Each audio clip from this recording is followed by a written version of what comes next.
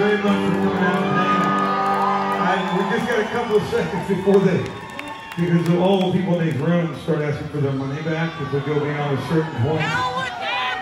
It's awful. They, I guess these, some of the folks in these rooms didn't realize this was going to go on here tonight. That's uh, rough.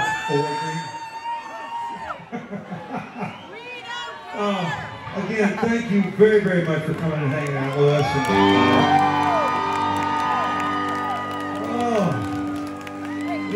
said earlier that song I Got You, it kind of creeped up on me last summer. I was sitting there in the kitchen staring at the floor. This one kind of drifted through my mind several different times. See if it drifted through your mind or not.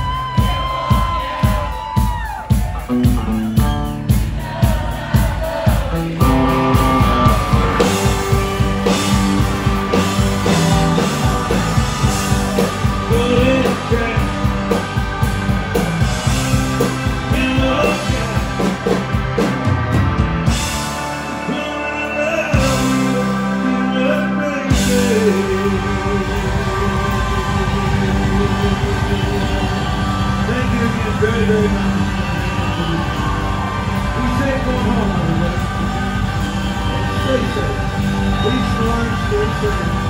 Let's keep a little night.